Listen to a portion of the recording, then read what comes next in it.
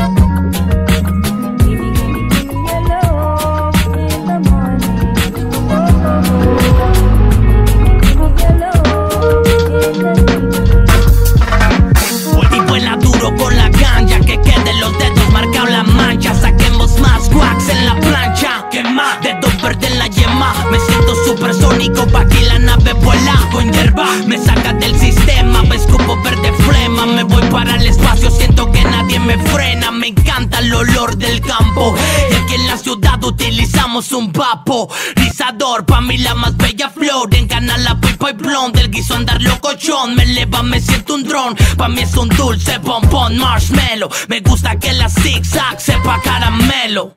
Un ensalive peso del slow quemo. Se impregna donde seas mi simbionte como Venom. Quema la fuma, la pasa, la baña En esto del fumo intenso yo nunca me quedo lleno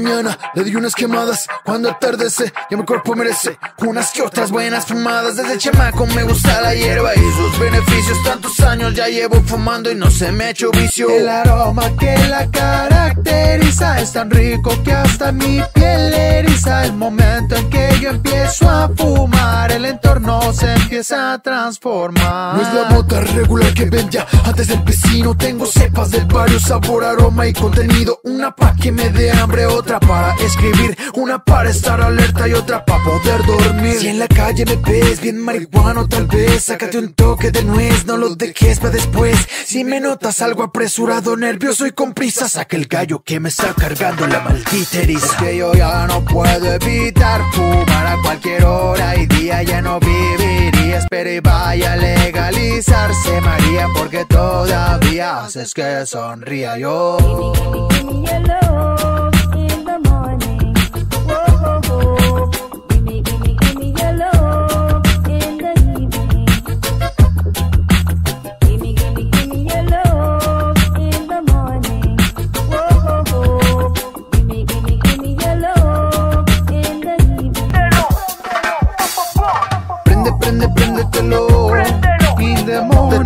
fuego, no lo dejes para luego. Prende, prende, préndetelo.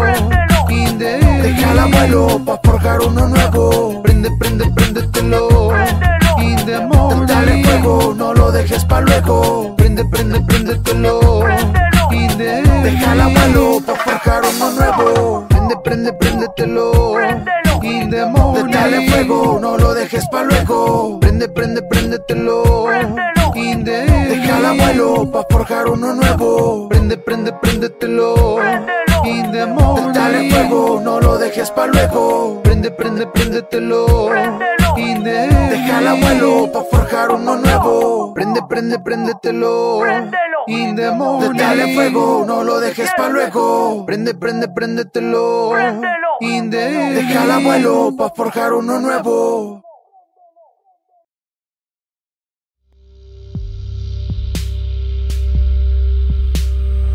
El cannabis y el ser humano comparten miles de años de historia. A cambio de nutrirla, la planta nos proporciona alimento, fibras y medicamentos que obtenemos de sus distintas partes. Esta especie única tiene miles de variedades y cepas. Las variedades que tienen un contenido de THC muy bajo se emplean para uso industrial. A partir del cáñamo se fabrica ropa, papel, plásticos, aislantes, aglomerados y biocombustibles. El cannabis con alta concentración de THC se conoce por su efecto psicoactivo. Sin embargo, también es estudiado por sus propiedades médicas esenciales. Si bien la mayoría de las plantas de cannabis se consideran híbridos, hay un consenso general que las divide en dos grandes grupos, índica y sativa. Las plantas índicas son más bajitas y crecen con más densidad, y sus hojas son más cortas y anchas. Ejercen un efecto calmante y relajante. Las sativas, por el contrario, son más altas y tienen menos follaje, y sus hojas son más largas y estilizadas. Por lo general, producen un efecto psicoactivo y estimulante. Las flores del cannabis producen innumerables compuestos químicos. Los tres componentes más importantes que causan efectos en el organismo son cannabinoides, terpenos y flavonoides. Uno de los cannabinoides que más se ha estudiado es el THC. Es el responsable del efecto psicoactivo, aunque también puede actuar como analgésico, relajante muscular y aliviar la náusea. La mayoría de los distintos cannabinoides no produce efectos embriagantes. El más conocido es el cannabidiol, CBD, un compuesto químico único que podría ofrecer múltiples beneficios terapéuticos importantes, como aliviar las náuseas y las convulsiones, igual que el THC, pero también contrarresta los efectos intoxicantes de este, reduciendo la posible paranoia y la ansiedad. Los cannabinoides auguran un futuro prometedor en los tratamientos contra el cáncer y la metástasis, pero algunos también tienen habilidades muy específicas, como el cannabigerol, CBG, que promete ser un potente antibiótico muy útil para tratar enfermedades de la piel. El cannabidivarin, CBDV, está siendo estudiado actualmente para tratar un tipo de epilepsia, donde resultaría incluso más eficaz que el CBD. Y el tetrahidrocannabivarin, THCV, puede reducir problemas asociados con la obesidad y la diabetes, incluidos los dolores neuropáticos. El estudio de los cannabinoides sigue creciendo y creciendo. No olvidemos que hay más de 100 cannabinoides identificados. Seguir investigando nos ayuda a entender mejor las innumerables propiedades del cannabis.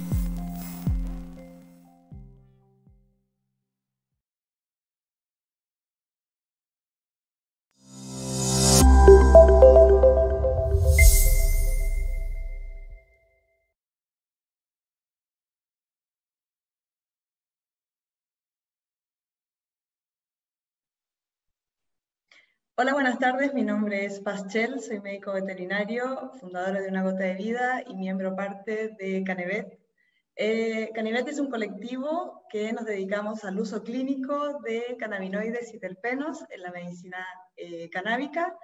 Y eh, hoy día les traigo una, un tipo de patología, bueno, tres tipos de patología que nosotros atendemos bastante en el cannabis medicinal y me gustaría presentarles esta alternativa natural, sin efectos secundarios y ya con mucho respaldo terapéutico y científico para poder lidiar con este tipo de enfermedades tan frecuentes hoy en día. Continuamos. Hoy en día podemos ver que la salud mental está tomando un papel preponderante en el área de salud debido a que ya como sociedad nosotros veníamos acarreando un estrés y una ansiedad crónica de, asociada al estrés laboral, al estrés en casa o distintas formas de estrés que nosotros podemos ir, ir este, relacionando con algún tipo de enfermedad mental. Entonces hoy día está tomando mucha más fuerza este tema y ha salido la Organización Mundial de la Salud a hablar de que hoy día se están aumentando sustancialmente las inversiones en esta, en esta área de la salud debido a que después de esta pandemia, todos estos factores que nosotros hemos traído como sociedad, de estrés, de ansiedad e insomnio se han eh, visto acrecentados con factores específicos que nos trae esta pandemia. Por ejemplo, el encierro, la angustia de no poder ver a nuestros familiares o la incertidumbre de no saber lo que va a pasar en un futuro, creo que ha ido aumentando esta sensación de estrés, esta sensación de, de ansiedad. Entonces, hoy día para el sector salud ya es un punto bastante importante que tratar porque la gente está falleciendo de este tipo de enfermedades mentales.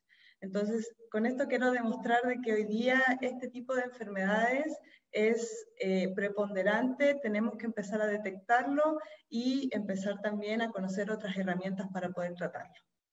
Continuamos.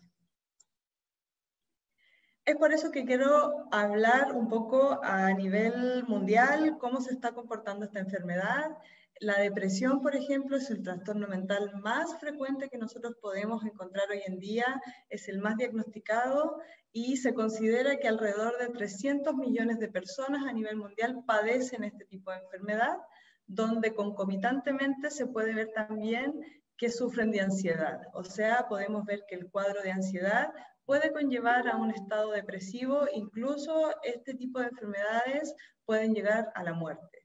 ¿ok?, también se calcula más que, eh, que más del 20% de la población mundial padecerá algún trastorno mental asociado a un cuadro de ansiedad, por lo que se requiere un tratamiento médico eh, en algún momento de su vida. Por lo tanto, aunque nosotros estemos eh, sintiendo algunos efectos de esta ansiedad o, de esta depresión, debiéramos eh, ir, concurrir a algún centro médico para que realmente nos diagnostiquen y, esto pueda ser solucionado con algún tipo de tratamiento. Eh, un informe a nivel mundial indica que los hombres tienen menos preponderancia en, relación a las mujeres en estos cuadros depresivos. Esto se asocia a varias cosas, puede ser asociado a que los hombres tienen menos diagnóstico porque acuden menos por un tema de, eh, social, acuden menos a los centros asistenciales, más que las mujeres. Las mujeres somos más, estamos más predispuestas a ir y atendernos con un psicólogo o con un psiquiatra, por lo tanto, esto también se puede ver afectado por un tema de subdiagnosticación. ¿okay? Eh, también se puede ver que la depresión es, es, la principal causa de discapacidad a nivel mundial y que contribuye muy importantemente a la carga mundial de morbilidad. ¿A qué se refiere esto? A que si yo ya vengo con un cuadro depresivo o con un cuadro de estrés, mi sistema inmune de todas formas baja, por lo tanto yo estoy más predisponente a padecer alguna enfermedad, sobre todo las crónico-degenerativas. ¿A qué me refiero con esto? Con diabetes, eh, algún tipo de eh, insomnio crónico o algún tipo de consecuencia así que te afecte a lo largo de tu vida, ¿no? También se puede ver que en México se estima que la tasa de prevalencia de depresión es alrededor de un 4.8% y se, se concentra entre los 18 y los 65 años. Estos números se pueden ver un poco alterados con, con la pospandemia debido a que todos estos números se triplicaron. ¿Okay? O sea, lo que, lo que podemos ver ahí, que de una de cada ocho personas padecen trastornos depresivos, esto pudo haberse triplicado post pandemia. ¿okay? Entonces, más importancia toma este campo de la salud mental para eh, un poquito por ahí una alerta, ¿no?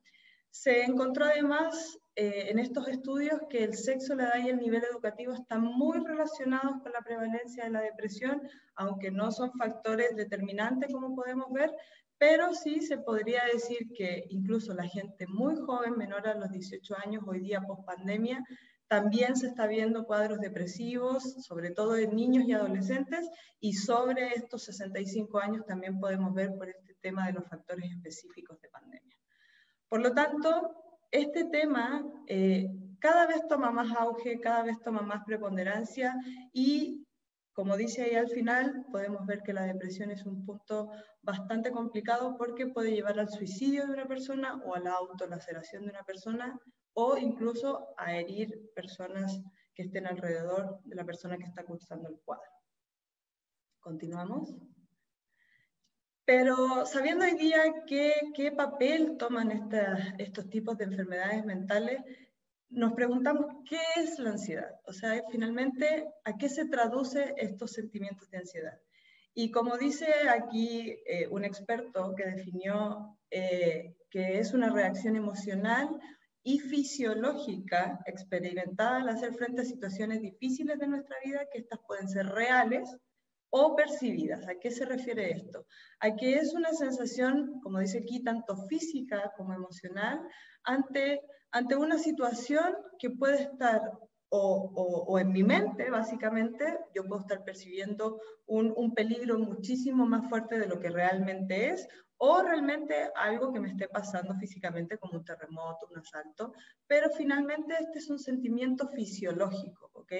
Cuando yo mantengo este, este, este estado fisiológico en el tiempo de estrés y ansiedad, se transforma en una patología crónica, por lo tanto yo ya empiezo a tener una ansiedad crónica y no, no dejo a mi cuerpo descansar, ¿ok? No, no, mi cuerpo no vuelve a ese estado de relajación, a ese estado de tranquilidad para poder en un siguiente evento poder generar esta pequeña ansiedad, que es lo que a ti te motiva a levantarte, a darle eh, eh, comida a los niños, a ir a trabajar, qué sé yo, pero cuando esto ya se transforma en algo crónico, empezamos con una patología, que podría derivar hasta la muerte, ¿no?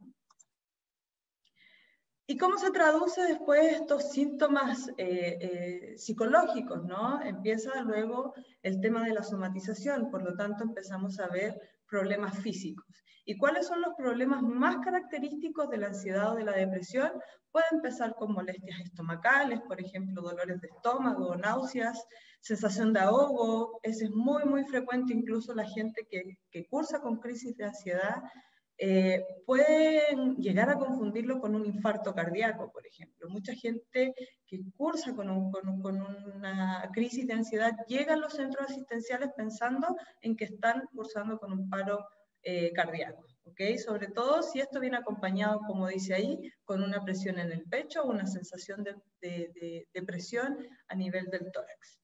También eh, eh, se asocia a palpitaciones, boca seca, muchas cosas que se podrían ir confundiendo, un poquito vagas, pero finalmente si eh, nosotros vamos a un centro asistencial, va un médico o un, o un, profesional de la salud podría llegar a detectarnos de forma bastante anticipada que estamos cursando con cuadros de ansiedad. Continuamos. Entonces, después de, este, de, esta ansiedad crónica, después de que yo he llevado bastante tiempo, por más de tres semanas básicamente a nivel clínico, eh, una ansiedad, esto puede terminar en un estrés crónico. Eh, pero aquí está relacionado el estrés crónico, ¿qué es finalmente el estrés crónico? El estrés crónico suele estar relacionado con las preocupaciones constantes y el desgaste profesional, sobre todo con la vida que nosotros podemos llevar hoy, hoy en día, eh, existen bastantes factores de riesgo que podrían llevar a una depresión, a un desgaste profesional, y eso obviamente afecta en todas las áreas de nuestra vida, incluso en la sexual. ¿no? Es un estado de agotamiento mental, físico y emocional que avanza durante el tiempo y que se prolonga, ¿no? donde finalmente nosotros podemos llegar a ver personas poco empáticas, con bastante desgaste, muy cansadas, este, muy, con pensamientos bastante eh, autodestructivos, por ejemplo, y ahí es cuando tu cuerpo empieza a asimilar que esto es un estado normal y empiezas a enfermar poco a poco, ¿no? Otras épocas, de, otras épocas de mucha implicación se produce una sensación de estancamiento y finalmente la frustración. Al final de todo este proceso llegamos a un estado de frustración, que es donde básicamente nosotros no vemos salida a todos los problemas que cargamos, a todo este desgaste, y empiezan los pensamientos suicidas. ¿no? En, algún, en algunas personas, perdón, aparecen síntomas psicosomáticos, o sea que además yo de tener esta sensación de desgaste, de, intranquilidad, de poca paz mental, ¿no? Eh, empiezan los síntomas psicosomáticos y empieza este cuadro completo del estrés crónico, donde yo tengo este pesar emocional y esta irritabilidad, este cansancio, incluso puede llegar a algún tipo de dolor específico en tu cuerpo y finalmente la frustración y probablemente la muerte, ¿no? Continuamos. Pero fisiológicamente, ¿cómo se comporta el estrés, no? El estrés finalmente cuando uno entra en este, este, en este estrés crónico, vamos a llamarle, porque existe un estrés agudo que es normal y fisiológico, como les, platicaba anteriormente, donde en este estrés crónico aumenta la, hormona, es, casi casi que específica del estrés, que se llama cortisol, y empiezan todos estos efectos eh, relacionados con, una alta concentración de cortisol en sangre. Por ejemplo, un aumento del ritmo cardíaco, tensión arterial, lo que, puede, lo que podría llegar a una hipertensión, ¿no? que es otro problema crónico. Eh, resistencia a la insulina también es súper común que la gente que vive en un estrés crónico además se alimenta mal, además eh, tiene poca, poco movimiento, son personas generalmente muy sedentarias que pasan mucho tiempo en, frente al computador, por ejemplo. Entonces, esa resistencia a la insulina y esos malos hábitos puede, podrían llegar a una diabetes, por ejemplo. ¿Ya? Eh, sudoración, piloerección, vasoconstricción de bronquios, por eso el, el, pecho apretado o, o, la, o, la, sensación de presión en el tórax, por ejemplo. Eh, desgaste en el sistema digestivo, una midriasis, por ejemplo, que es dilatación de la pupila, también son efectos adrenérgicos que nosotros cursamos durante un estrés crónico un aumento de la termogénesis, que es el aumento de temperatura corporal, ¿okay? la, la hipertrigliceridemia, que incluso esta hipertrigliceridemia, que es un aumento de los triglicéridos en sangre, podría llevar hasta un infarto cardíaco eh, y por, por, lo tanto por ahí tenemos otra consecuencia, ¿no? Una hiperglicemia que, insisto, con el tema de la resistencia a la insulina también están muy asociados como factores predisponentes para generar una diabetes, por lo tanto, el estrés me podría generar todo este tipo de consecuencias eh, a nivel tanto mental como físico. Y en algunos casos hasta la pérdida de conocimiento por un nivel de estrés muy, muy alto y muy, muy agudo. ¿Ok? Continuamos. Finalmente, estos cuadros de estrés y ansiedad terminan también en una consecuencia muy, muy normal eh, dentro de este cuadro, okay, súper esperable de alguna forma, que es el insomnio. Entonces, eh, en base a esta consecuencia, nos preguntamos ahora, ¿qué es el insomnio? No? Eh, el insomnio se define, o lo define la OMS, la Organización Mundial de la Salud, como la dificultad de iniciar o mantener el sueño o no tener un sueño reparador que dure al menos un mes y que además se acompañe de fatiga diurna, sensación de malestar personal significativo, deterioro social, como lo platicábamos anteriormente, laboral o de otras áreas importantes de la actividad personal. Por lo tanto, nosotros tenemos distintos tipos de insomnio, ¿ok? Hay gente que le cuesta conciliar el sueño, ¿ok?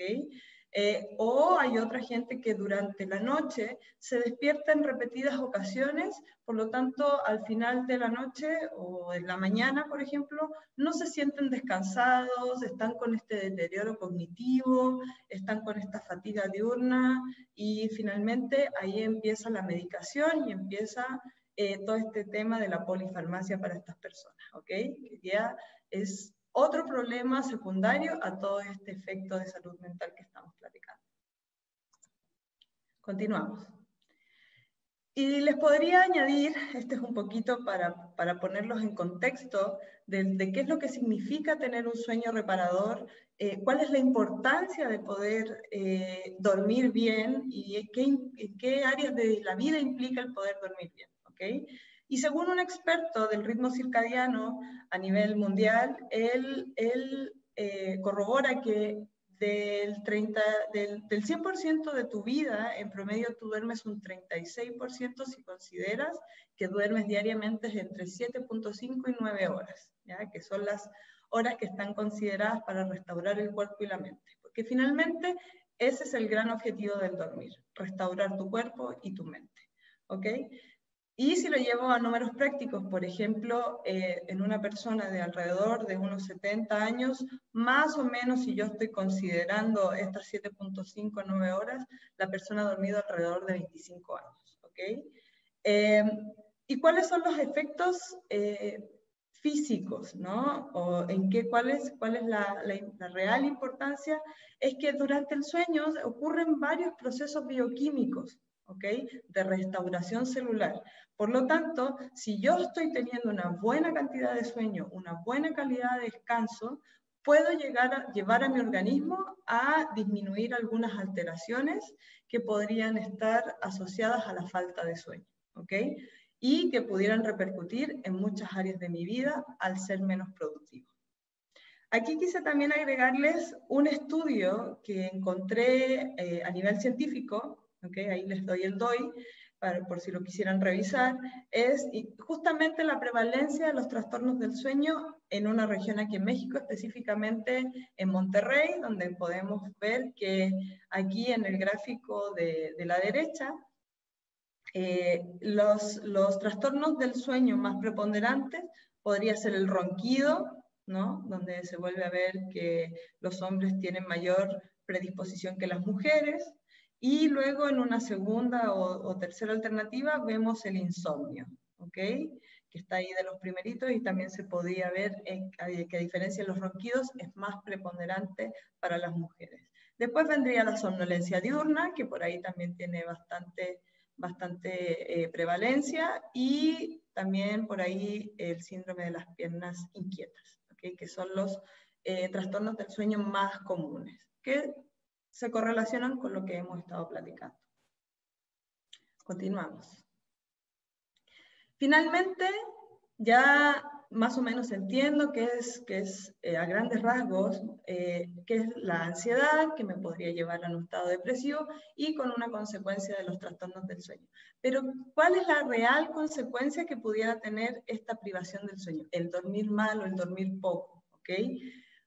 Tiene bastantes consecuencias tanto a nivel eh, emocional, a nivel mental y a nivel físico, donde podríamos comenzar hablando de la irritabilidad constante, un deterioro cognitivo, por lo tanto yo estoy más predisponente a sufrir un accidente de carro, por ejemplo. ¿Por qué? Porque mi, mis, mis sentidos o mis cinco sentidos básicamente no están completamente ahí, gracias a este desgaste eh, cognitivo. ¿no? Eh, la pérdida de memoria también es muy, muy frecuente, el juicio moral deteriorado, un bostezo severo, de estar todo el tiempo con sensación de cansancio, también podemos ver eh, trastornos del sistema inmunitario. Cuando nosotros tenemos esta, esta baja en las defensas, estamos abiertos a recibir cualquier tipo de infección, estamos más predisponentes, por lo tanto también podríamos sufrir una infección secundaria. Rego de diabetes tipo 2, como lo platicábamos anteriormente, aumenta la variabilidad del ritmo cardíaco, eso también puede llevar a un infarto. O sea, podemos ver que a muchos niveles o a distintos niveles tenemos consecuencias bastante graves que incluso nos podrían, además de, este cuadro depresivo, del comportamiento autolacerante o del suicidio, podría llevar también a un tipo de riesgo más social, ¿no? Y también a perjudicar a otras personas. Continuamos. En relación a esto, me gustaría dejar en claro cuáles son las etapas del sueño debido a que en cada etapa hay una función diferente en el tema de reconstrucción celular. Entonces, podríamos decir que a grandes rasgos el sueño se divide en su etapa de no REM y en su etapa de sueño REM o sueño paradójico, eh, donde las primeras cuatro etapas, que vendrían siendo el no REM o de movimientos oculares no rápidos, por la característica del movimiento ocular durante esa, esa etapa del sueño, los ojos básicamente están más, más, más quietos para poder llegar eh, al sueño profundo. Eh, cuando yo ya llego al sueño profundo, que es esta etapa REM, se llama sueño paradójico, debido a que, a que, como podemos ver en las fotografías, cuando yo estoy en, en esa transición de la vigilia al sueño profundo, por lo tanto estoy en mi sueño no REM, mi cerebro empieza a bajar su actividad, como lo podemos ver ahí. Eh, empieza a disminuir la actividad cerebral para entrar en este sueño profundo. Pero cuando ya entramos a la etapa de REM, donde, donde se hacen las mayores reconstrucciones mentales, la mayor reconstrucción de neuronas, este, donde, donde hay mayor regeneración celular, el cerebro se reactiva, por eso se llama eh, sueño paradójico, porque si lo comparamos con la actividad cerebral de la vigilia, o sea, cuando yo estoy completamente lúcida, ¿no? Eh, la actividad cerebral es muy parecida. ¿Okay? Por lo tanto, podemos ver que aunque nosotros conscientemente estemos descansando, estemos durmiendo, nuestro metabolismo, nuestro organismo no para y sigue reestructurando o sigue reconstruyendo a nivel celular tejidos musculares, sistema inmune, eh, toda la parte cerebral o la médula espinal empieza con su regeneración celular. Por lo tanto, hoy día este tema del sueño en el área de bienestar cada día toma más eh, preponderancia o importancia en relación, por ejemplo, a la buena alimentación o a tener buenas relaciones sociales o cosas que nosotros ya hemos ido platicando relativo al, al bienestar. Hoy día el sueño empieza a tomar un papel más importante, gracias a todo lo que sabemos hoy en día de las etapas del sueño. Continuamos. Y ya cuando yo ya tengo mi diagnóstico, yo ya siento que todos estos efectos, tanto físicos como mentales y emocionales también, hasta sociales, empiezan a afectar mi vida, creo que eh, eh, empieza este tema de los tratamientos convencionales, que como decía anteriormente, hoy día ya también significan un pequeño segundo efecto, un efecto secundario también a estas enfermedades. Donde la medicación alópata hoy en día, eh, en base a las benzodiazepinas o a los antidepresivos, ya se sabe que tienen un montón de efectos secundarios, eh, como por ejemplo un bajo rendimiento cognitivo problemas psicomotores del uso crónico de este tipo de medicamentos. Incluso en mi, en mi, en mi experiencia o en mi, o en mi estudio para poder realizar esta clase, estuve averiguando que hoy en día incluso este tipo de, de medicamentos se están usando de forma recreativa. ¿okay?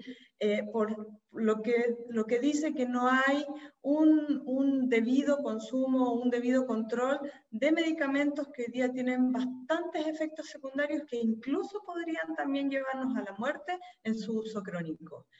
Eh, por lo que pacientes que hoy día están muy medicados con benzodiazepinas, por ejemplo, un clonazepam, un ribotril y antidepresivos, hoy día viven en altas dosis sin solucionar verdaderamente su problema de ansiedad y estrés. Lo que también los puede llevar a largo plazo, como, como dice ahí, a efectos cerebrales bastante, bastante agresivos. Eh, también se acompañan de terapias eh, cognitivo-conductuales que además de la medicación debiera haber una guía por parte de algún profesional de la salud como un psicólogo o como un psiquiatra para reestructurar algunos, eh, algunos comportamientos autodestructivos y que podrían llegar a dañar al entorno de la persona que está sufriendo con estos cuadros depresivos. Entonces, esto es básicamente muy a grandes rasgos lo que se, lo que se hace hoy y creo que eh, está quedando un poco limitado para lo que estamos necesitando en salud. Continuamos. Es por eso que la cannabis medicinal hoy día representa una gran alternativa terapéutica debido a que podemos generar, como dice ahí, salud con calidad, porque hoy día empiezan a hablarse de los, de los macerados o de los extractos que cada vez debieran ser más puros, cada vez debieran ser eh, eh, más con mayores certificaciones, por lo tanto debieran dar más seguridad y más eficacia, debido a que en esta área de la medicina la pureza determina la potencia, ¿ok? De eh, todos estos compuestos activos que nosotros podemos encontrar en la cannabis medicinal, eh, llamados cannabinoides y además unos que vienen ahí entrando por la, por la rabadilla y del ojillo, que son los terpenos, que también tienen un sinfín de efectos medicinales y de los cuales vamos a hablar ahora. Continuamos. Primero quiero darles una visión general de lo que es la planta. Eh, esta planta no es que la vengamos ocupando eh, hace poquito, hace muy poco tiempo, es una planta ancestral, es una planta de base o es una planta sagrada para varias culturas, por ejemplo la ayurvédica, que se basan en los poderes medicinales o en las propiedades medicinales de esta planta. Entonces podríamos decir que esta planta es dioica, o sea que tenemos un macho, como podemos ver ahí en la imagen, es el que da la semilla, y la hembra, que es la que da la flor, donde se han identificado más de 500 compuestos con función terapéutica entre los que podemos encontrar una alta concentración de cannabinoides, que son eh, estos compuestos específicos que van a ir a hacer este, conexión con un sistema muy importante que hoy día también tenemos, que es el sistema endocannabinoide, y algunos compuestos que tienen más relación con el aroma de la cannabis, que son los terpenos, por ejemplo, o el sabor de la cannabis, eh, además de los efectos terapéuticos y los flavonoides que no pueden quedar atrás, que son un potencial eh, compuesto antiinflamatorio y que tienen también mucho que ver con el color de la cannabis, con el color que vamos a ver de cada planta o de cada cultivar. Em, la hembra, en el caso del área medicinal, se le da muchísimo más valor porque presentan unas glandulitas que se llaman tricomas, que los podemos ver aquí al lado izquierdo de la pantalla, donde en el recorrido de la planta podremos ver varios tipos o varias formas de tricomas y de los que nosotros nos vamos a fijar más son los que están dentro de la flor porque es donde está la mayor concentración de compuestos terapéuticos y eh, es lo que nosotros vamos a ocupar para poder hacer los extractos y poder hacer medicina con cannabis. ¿Okay? Por lo tanto, nosotros debiéramos estos tricomas eh, identificarlos tanto cualitativamente, como lo estamos haciendo aquí en la imagen de la derecha, y cuantitativamente, dependiendo de la cantidad de compuestos terapéuticos que tengan. Continuamos.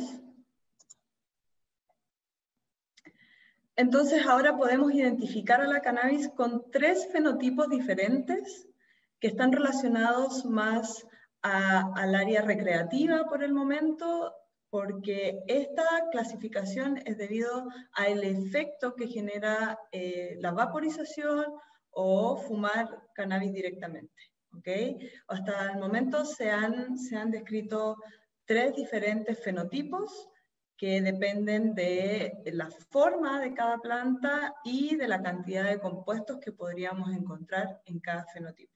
Estos son sativa, indica y ruderalis.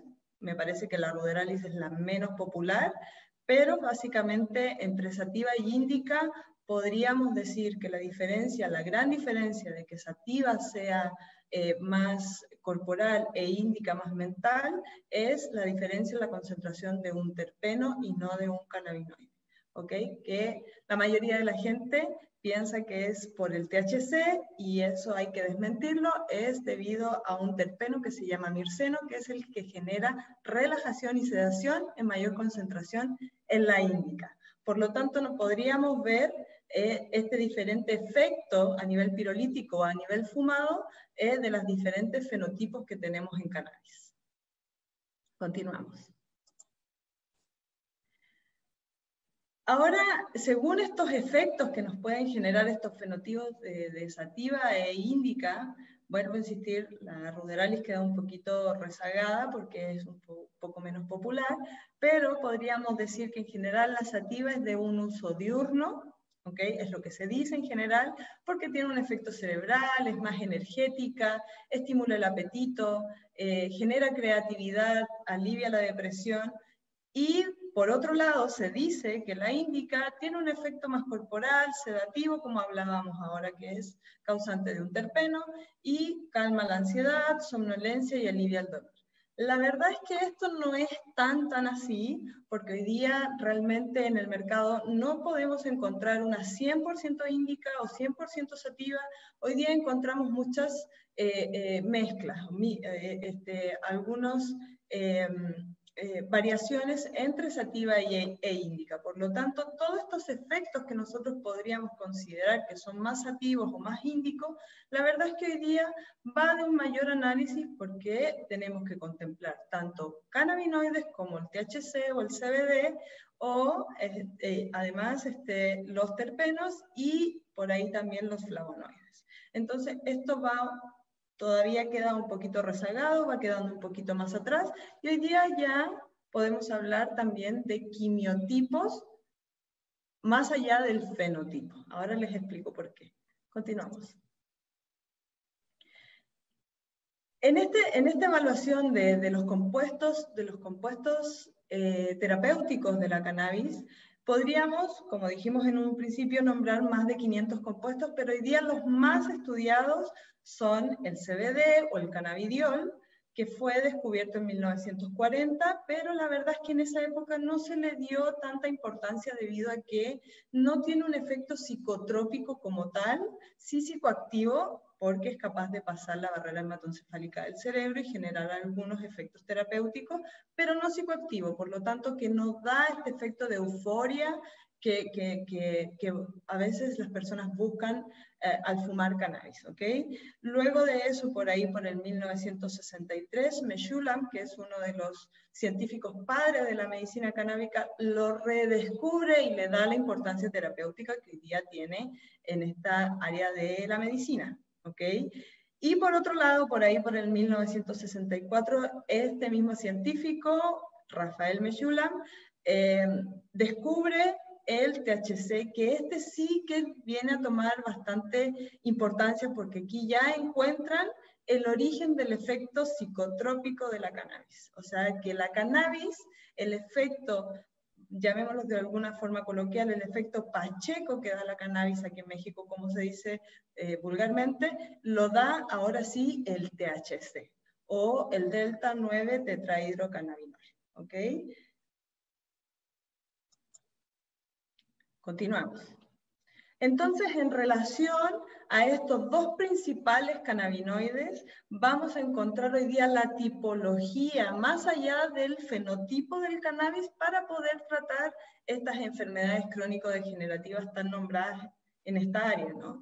Dentro de esta tipología podemos encontrar algunos cultivares o mal nombrados cepas, ¿ok? Que sean predominantemente eh, THC, a las que se les llama tipo 1, ¿ok? También hay otros cultivares o quimiotipos que tienen un equilibrio entre el THC y el CBD, o sea que podríamos considerar que es un 1 es a 1, o sea, por cada molécula de THC hay una molécula de CBD, a ese se le llama tipo 2 o quimiotipo 2, y un tercer quimiotipo que es predominantemente CBD. ¿ok? Eso es muy a grandes rasgos en cómo podríamos eh, identificar las distintas concentraciones de estos cannabinoides en los distintos quimiotipos de la cannabis, ¿ok? Luego de eso la cosa se complica un poquitito más y podríamos incluso determinar el perfil de terpenos para este, esta tipología del cannabis que sería lo más completo y en un sueño, los flavonoides también. Continuamos. Entonces, podría yo empezar a hacer una especie de versus entre lo que yo busco dentro de un quimiotipo y lo que yo busco dentro del fenotipo en la cannabis, ¿ok? Que son dos cosas que ya como podemos ver, bastante diferentes. En el quimiotipo yo lo podría incluso ocupar para el área recreativa, buscando cepas de mayor concentración de THC, por ejemplo, para buscar ese efecto high más alto, ¿no?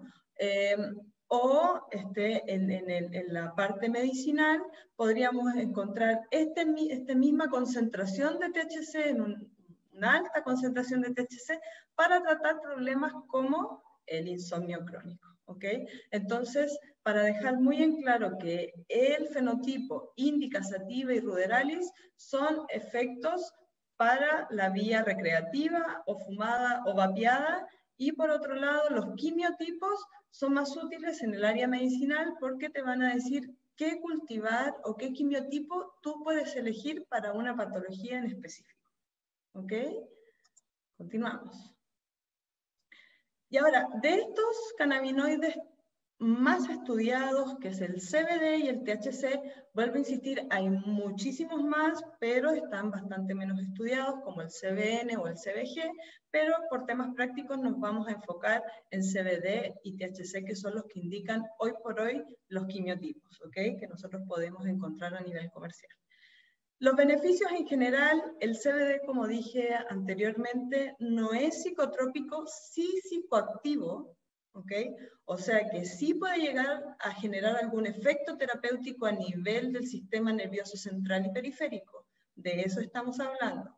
Por ejemplo, podría llegar a ser un neuroprotector un anticonvulsivante, un antipsicótico y además de efectos que nosotros andamos buscando también por el tema del dolor crónico, como antiinflamatorio o analgésico, antitumoral, que también hoy día se están viendo algunas características terapéuticas para prevenir tumores y además, como se ha utilizado hoy en día, como terapia paliativa para pacientes crónicos degenerativos, para mejorar la calidad de vida de estos pacientes. Y hasta el momento, a nivel clínico, no se han visto grandes efectos secundarios de CBD, por lo tanto podríamos decir que no tiene efectos secundarios, a diferencia del THC o del delta 9 tetrahidrocannabinol, que sí es un psicotrópico, por lo tanto yo encuentro estos efectos secundarios de esta molécula como la euforia, la paranoia y la ansiedad, ¿ok? Que son absolutamente controlables con dosis. Por eso es muy importante saber qué quimiotipo yo estoy trabajando. Eh, algunos efectos o beneficios potenciales del THC es tiene un efecto sumamente relajante, es estimulante del apetito, puede ayudar con somnolencia para personas que sufren de insomnio, un analgésico bastante bueno y además hoy día se podría llegar a decir que sin THC hay muy poca medicina en algunos cultivares, ¿ok? Sobre todo en, en este, eh, productos que sean isolados o aislados de CBD. Eh, también podríamos decir que el THC es un producto o es un compuesto bifásico. ¿Por qué? Porque a bajas concentraciones, o sea, si yo consumo bajas concentraciones de cannabis, yo podría generar una baja en la ansiedad, por ejemplo. Pero si yo este mismo compuesto lo administro en altas concentraciones, es un eh, ansiogénico, por lo tanto yo puedo generar estados de paranoia en altas concentraciones, que lo podemos ver a, a, nivel recreativo cuando alguien fuma demasiado, entra en estado de paranoia y ansiedad y es debido a que se pasó de su dosis personal de la concentración de THC. Continuamos. Ahora voy a hablar un poco del sistema endocannabinoide, que es el que sustenta toda esta medicina, toda esta área de la herbolaria a través de la cannabis. ¿Por qué? Porque a grandes rasgos hoy día, hoy se sabe que además de tener un sistema digestivo, uno respiratorio, uno neuronal, perdón, también existe un sistema de interconexión entre células para que entre ellas mismas se vayan informando qué ha cambiado eh, bioquímicamente en la célula. O sea, qué desequilibrio puede haber en la célula que pudiera llegar a generar algún tipo de patología. ¿A qué me refiero yo? Que existen una composición de receptores en las células o en las membranas celulares que van a hacer un efecto que se llama llave cerradura con estos compuestos que son los cannabinoides de, eh, como el THC o el CBD, por lo tanto son compuestos muy específicos para este sistema que nosotros ya tenemos descubierto y podemos empezar a hacer esta, eh, esta conjunción de poder ocupar los fitocannabinoides para estabilizar nuestro sistema, ¿no? Entonces se podría decir que este sistema está compuesto por receptores específicos, a los que se le llama CB1 y CB2 principalmente, hay muchos más, pero eh, vuelvo a insistir, por temas prácticos vamos a hablar solamente de estos dos, endocannabinoides, que son estas, unas moléculas que son parecidas a, los cannabinoides de la planta, pero que son generadas por tu propio cuerpo y también son eh, específicas de este sistema, ¿ok? En los cuales podemos, por ejemplo, nombrar la anandamida. Eh, eh, y además de, los receptores y los ligandos, como los endocannabinoides o los fitocannabinoides, también tenemos enzimas que sintetizan y degradan estas moléculas, debido a que estas moléculas no viven en la circulación sanguínea. Se producen a necesidad, por lo tanto, si yo necesito estabilizar algo de mi organismo, ¿no? este sistema se echa a funcionar y genera los endocannabinoides. Pero cuando nos mantenemos en un estrés crónico, por ejemplo, o en una ansiedad crónico, el desgaste de estos, de estos endocannabinoides es inminente, por lo tanto nosotros podríamos suplir esta falta de endocannabinoides con los cannabinoides de la cannabis. ¿Ok? Eh, ¿Para qué sirve este sistema endocannabinoide, este sistema endocannabinoide se va directamente a la homeostasis del cuerpo, o sea, todas estas funciones que te permiten adaptarte a los factores externos y poder sobrevivir de alguna forma. Por ejemplo, la temperatura corporal, eh, em, eh, la sudoración, la frecuencia cardíaca, la frecuencia respiratoria, todo esto está comandado por el sistema endocannabinoide, por lo tanto, si yo logro estabilizar este sistema endocannabinoide, no tengo problemas ni de función cardíaca, ni fertilidad, ni memoria, ni de respuesta inmunitaria. Disminuyen los dolores porque está muy relacionado con las vías del dolor o de la, o de la analgesia, entre otros. Por lo tanto, podríamos decir que este sistema endocannabinoide, en resumen, te sirve para equilibrar tanto la alimentación, el dormir, la memoria y tu sistema inmune. Continuamos. Este punto me gusta mucho porque aquí se pone interesante el tema médico, ¿ok? Eh, ya se sabe a nivel científico eh, que existe entre cannabinoides y terpenos un efecto que se llama efecto séquito. Por eso en medicina cannabinoide nosotros siempre recomendamos utilizar productos full spectrum. ¿Por qué? Porque aprovechamos tanto el perfil de terpenos como el perfil de cannabinoides y entre ellos a nivel científico ya se sabe que tienen una potencial sinergia en los efectos terapéuticos. ¿A qué me refiero yo? Que cuando yo ocupo un full spectrum, puede que el perfil cannabinoide esté apoyando, potenciando el efecto de los cannabinoides en la terapia. Por eso, siempre, siempre, siempre es recomendado antes de un isolado un full spectrum. Ahora las formas de administración. ¿Cómo nosotros ocupamos esta medicina? ¿Cómo nosotros podemos tomar esta medicina? ¿Cuáles son las formas adecuadas de utilizarlo?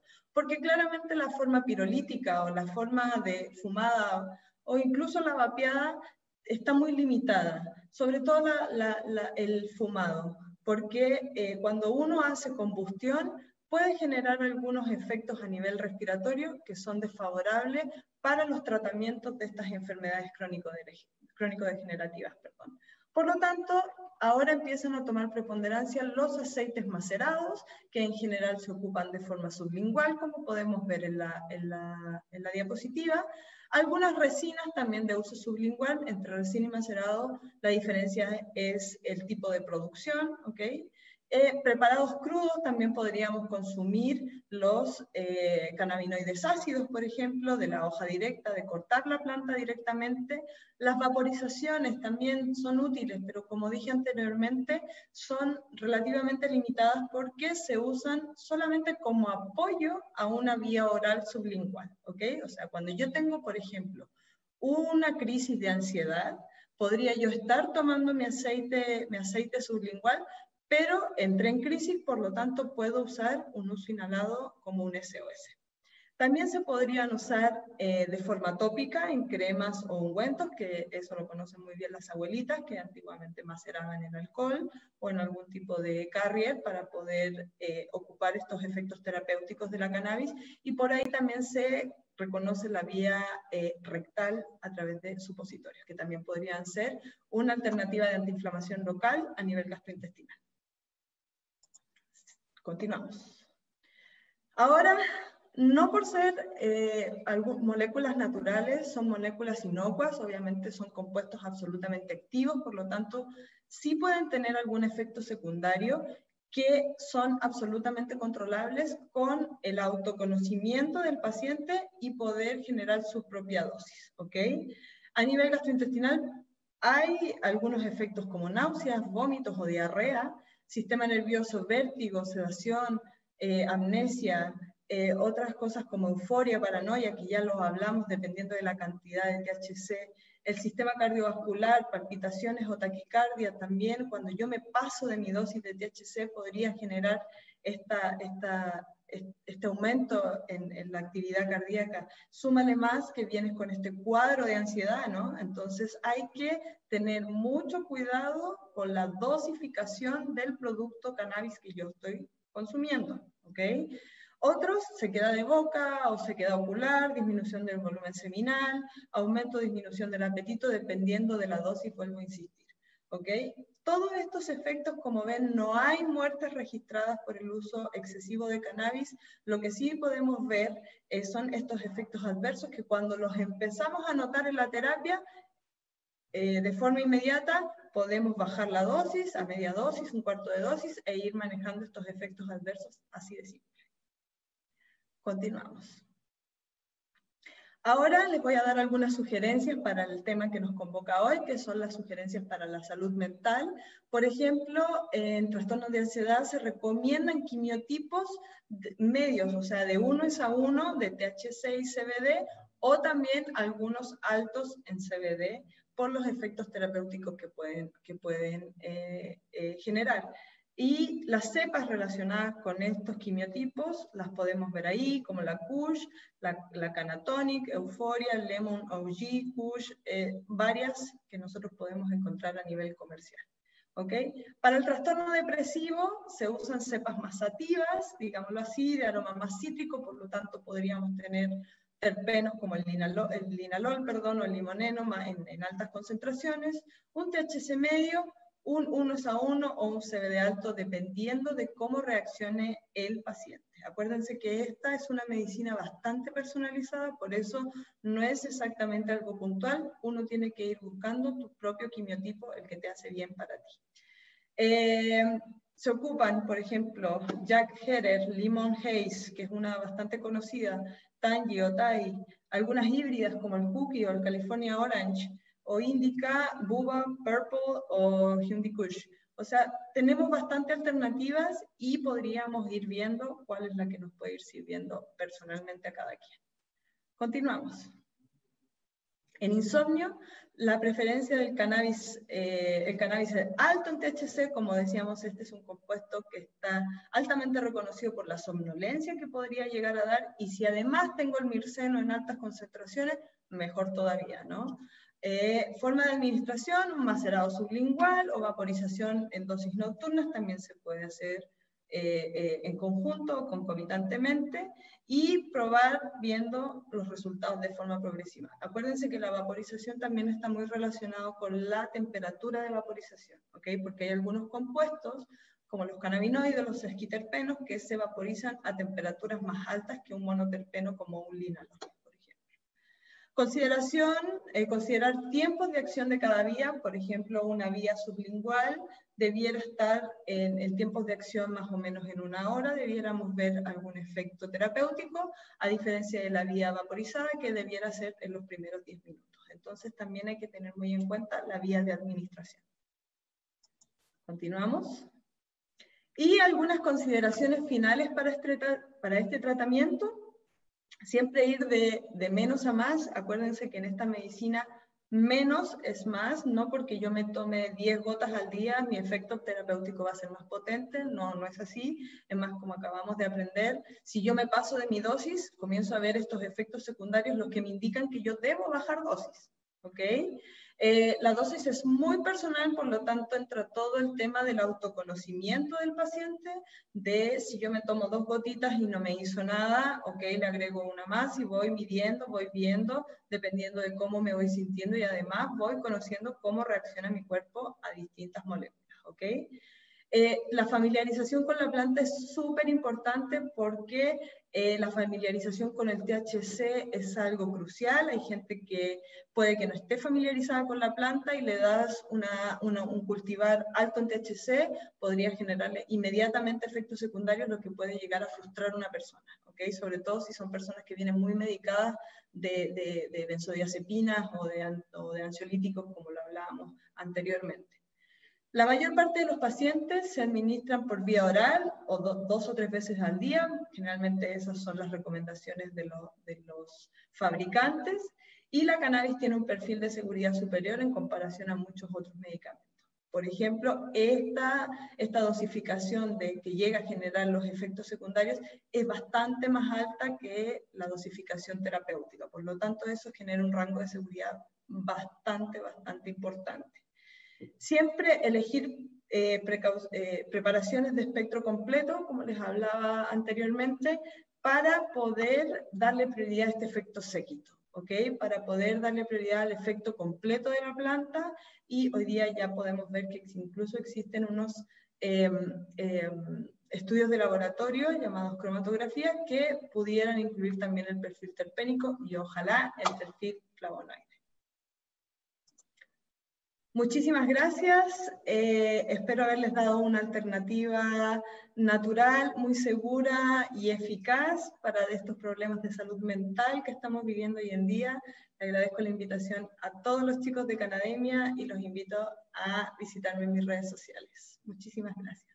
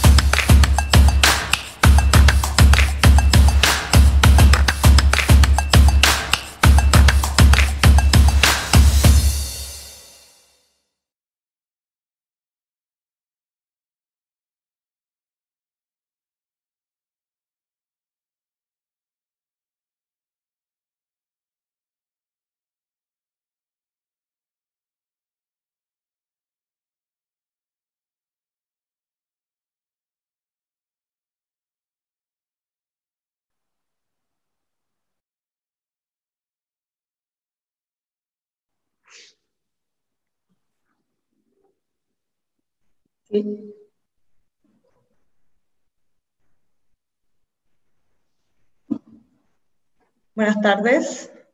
Sí, sí, se está viendo. Muchísimas gracias. Eh, quisiera saber ahora si alguien tiene alguna pregunta sobre, el, sobre lo que hoy día platicamos. Mientras se van juntando las preguntas, les vamos a pasar un video eh, promocional de Fundación Cana, para los que estén interesados.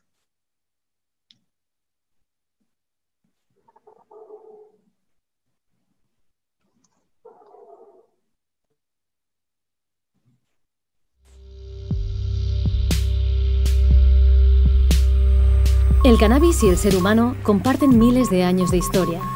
A cambio de nutrirla, la planta nos proporciona alimento, fibras y medicamentos que obtenemos de sus distintas partes. Esta especie única tiene miles de variedades y cepas. Las variedades que tienen un contenido de THC muy bajo se emplean para uso industrial. A partir del cáñamo se fabrica ropa, papel, plásticos, aislantes, aglomerados y biocombustibles. El cannabis con alta concentración de THC se conoce por su efecto psicoactivo. Sin embargo, también es estudiado por sus propiedades médicas esenciales. Si bien la mayoría de las plantas de cannabis se consideran híbridos, hay un consenso general que las divide en dos grandes grupos, índica y sativa. Las plantas índicas son más bajitas y crecen con más densidad, y sus hojas son más cortas y anchas. Ejercen un efecto calmante y relajante. Las sativas, por el contrario, son más altas y tienen menos follaje, y sus hojas son más largas y estilizadas. Por lo general, producen un efecto psicoactivo y estimulante. Las flores del cannabis producen innumerables compuestos químicos. Los tres componentes más importantes que causan efectos en el organismo son cannabinoides, terpenos y flavonoides. Uno de los cannabinoides que más se ha estudiado es el THC. Es el responsable del efecto psicoactivo, aunque también puede actuar como analgésico, relajante muscular y aliviar la náusea. La mayoría de los distintos cannabinoides no produce efectos embriagantes. El más conocido es el cannabidiol, CBD, un compuesto químico único que podría ofrecer múltiples beneficios terapéuticos importantes, como aliviar las náuseas y las convulsiones, igual que el THC, pero también contrarresta los efectos intoxicantes de este, reduciendo la posible paranoia y la ansiedad.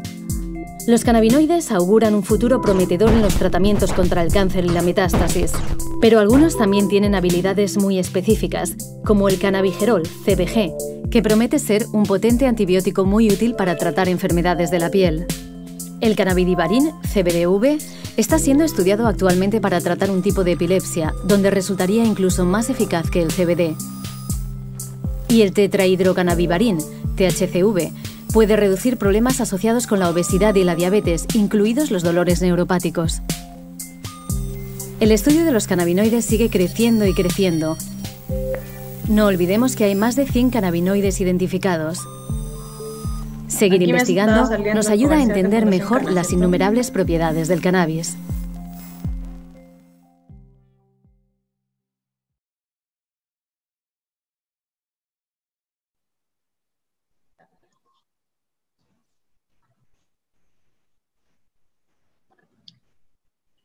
A ver si ya podemos tener algunas preguntas.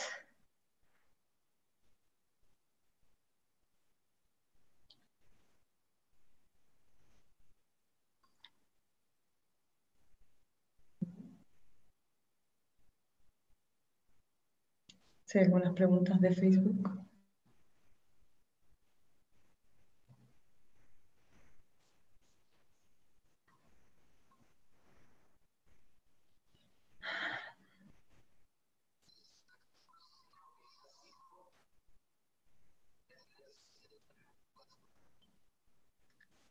El sueño bifásico. Eh, realmente tendría que diferenciar bien qué significa el sueño bifásico. Debe ser alguna, eh, personalmente creo que es una, algo, algo muy específico, seguramente es relacionado con los trastornos del sueño y habría que ver eh, qué, es, qué cultivar básicamente le funciona mejor a la persona, pero podría ser un alto en, un alto en, en, en CBD o un 1 es a 1, también dependiendo de su familiarización con el THC. Pero va muy, muy de la mano de cómo reaccione la persona eh, por, cada, por cada producto o por cada cultivar. Pero sí, sí se podría, dependiendo del producto más bien.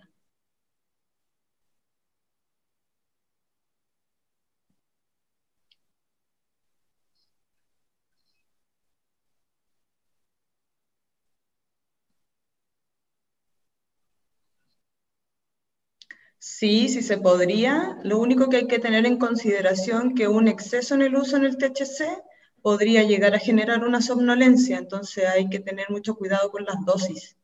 A nivel crónico, eh, si se ocupa mucho tiempo el THC, podría generar ese efecto secundario también, pero eso tiene que ir de la mano con un profesional de la salud que le lleve el tratamiento y, y claro que se podría, pero de la mano de un profesional de la salud que le vaya eh, modificando las dosis.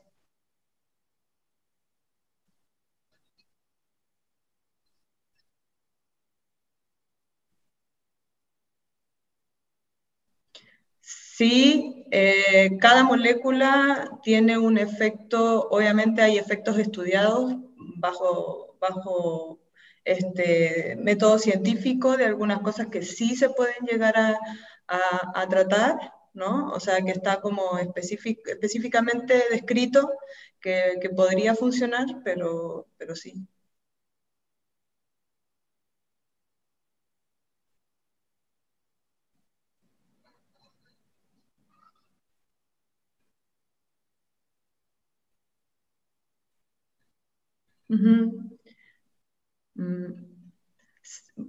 Bueno, si no hay más preguntas, este, dejo eh, con mis redes sociales.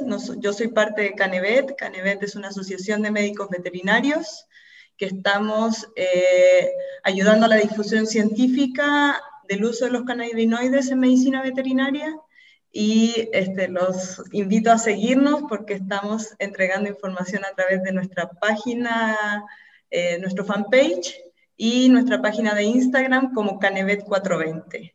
Así que cualquier cosa que necesiten de parte de nuestro colectivo, en el área medicinal estamos muy abiertos a ayudarnos y a hacer colaboraciones con otras personas que estén relacionadas con el área médica de la cannabis. Así que les agradezco mucho a Canademia por esta invitación, me siento muy contenta de estar aquí y espero verlos en una siguiente transmisión. Muchísimas gracias.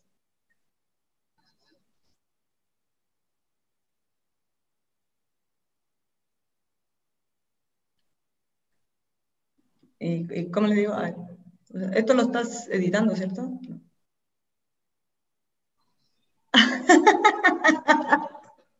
Ah, ok. Este, sí, eh, además de, del cannabis, este, eh, soy consultora de aceites esenciales que van en complemento con la terapia de cannabis, así que si me quieren seguir, mi eh, emprendimiento personal se llama Una Gota de Vida o a través de mi este, perfil de Instagram también, PazChel, me podrían seguir para asesorías del tipo de aceites esenciales también. Así que les agradezco mucho. Este, eh, muchísimas gracias a Canademia de nuevo y gracias por dejarme pasar ahí el datito de mis aceites. Muchísimas gracias a todos.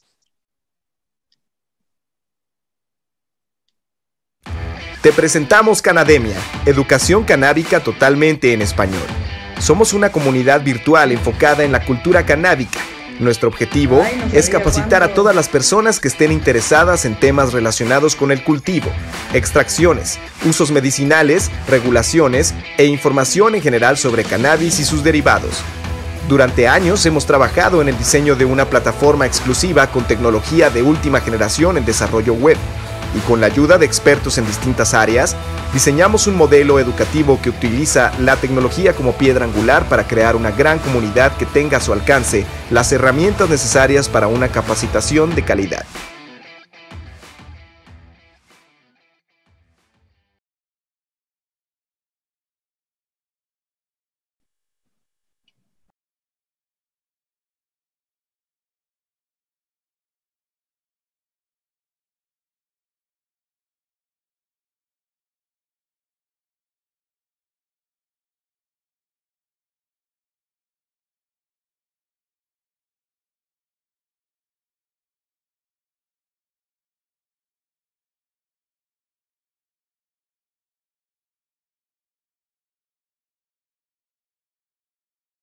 Que hoy día esa pregunta está muy amplia, pero de todas formas, si tiene una... eh, depende de muchas cosas, si él se automedicó, si él buscó, compró, mm, por ejemplo, hoy día se puede comprar el producto hasta por internet, entonces hay que ver bien este, si es un isolado, por ejemplo, si es un aislado de CBD, lo que él trae en 500 miligramos, eh, donde sí se le podría adicionar THC, pero la verdad es que no es algo muy práctico, sería, sería buscar alguna alternativa alta en CBD y que tenga algún contenido de THC, pero sí se, sí se podría, pero también depende mucho cómo su cuerpo este, asimile la medicina. ¿ya? Eso también eh, va mucho de la mano del autoconocimiento de lo que uno está consumiendo, o sea, de cómo tú te sientes en torno a lo que estás consumiendo hoy. Porque incluso hay marcas que pueden etiquetar 500 miligramos, pero realmente no traen esa cantidad de, dosificación las, las botellas o de concentración la botella. Entonces, este, entra en un área súper amplia de analizar específicamente qué producto estás consumiendo pero, y ver cómo reacciona tu cuerpo ante ese producto.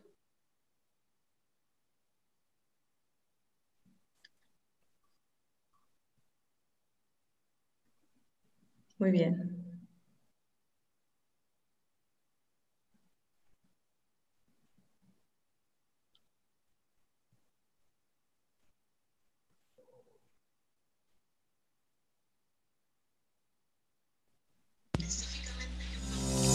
Pues ya está.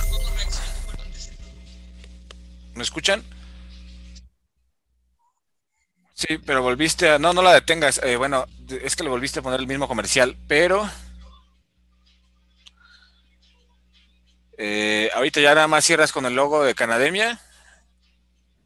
Y ya en lo que se va desconectando la gente. Este...